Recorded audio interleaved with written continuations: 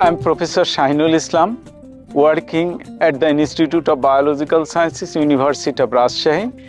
I got the opportunity in 2008 uh, to come at ICGEB New Delhi to do my postdoc here, and then I, I learned many things here, and I got also the CRP return grant with this return grant, I established a lab also. My students are also benefited from the support and also many other uh, collaboration with ICGEB.